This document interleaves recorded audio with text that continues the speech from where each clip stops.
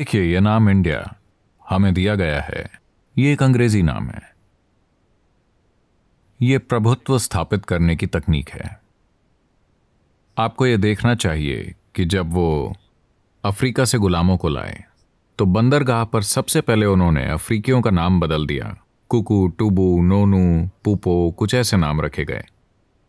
अगर मैं आपको पद्मनाभन कहता हूँ तो आप ऐसे खड़े होंगे। मैं आपको कुकू कहूँ तो आप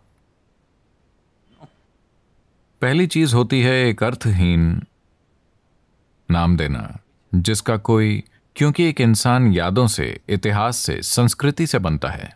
एक ऐसा नाम जिसका कोई सांस्कृतिक आधार नहीं है, एक ऐसा नाम जिसका कोई महत्व नहीं है, एक ऐसा नाम जो आपके अंदर गर्व पैदा नहीं करता।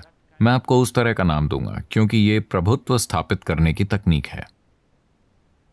इस देश में दो, तीन या शायद पाँच प्रतिशत लोग अंग्रेज़ी भाषा बोलते हैं। लेकिन देश का नाम अंग्रेज़ी में है। इसका अंग्रेज़ी न बोलने वाले किसी भारतीय के लिए कोई मतलब नहीं है। India. Bharat has a power to it Bharat में एक शक्ति है क्योंकि इसके दो पहलू हैं। जब हम कुछ बोलते हैं तो ध्वनि पैदा होती है।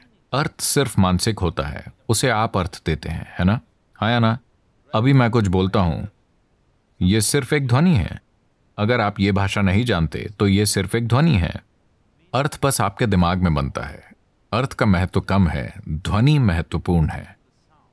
आप भारत का उच्चारण करके देखिए कि आपके अंदर कैसे स्पंदन पैदा होते हैं। आप इंडिया कहकर देखिए कि आपके अंदर कैसे स्पंदन पैदा होते हैं। दो दिनों के लिए इसे अपना जब बना लीजिए। एक दिन आप सिर्फ़ इंडिया इंडिया इंडिया कहिए। अगले दिन बस भारत भारत भारत कहिए। बस देखिए कि आपके सिस्टम के साथ क्या करता है। फिर आप तय कीजिए। इसे बहुत नजदीकी से देखकर ध्वनि और आकार के विज्ञान की गहरी समझ के साथ किया गया था।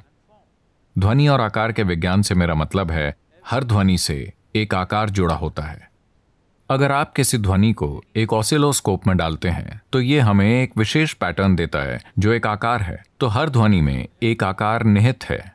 हर आकार में ध्वनि निहित है।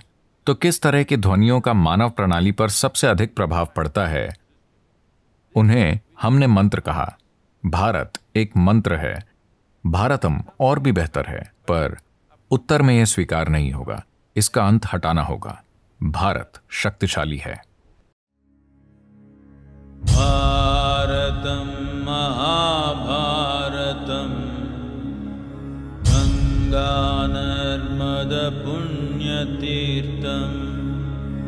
सिंधु सरस्वती कावेरी। जीवनकारणमूलतत्त्वं नीराष्ट्रस्य महा अमृतम्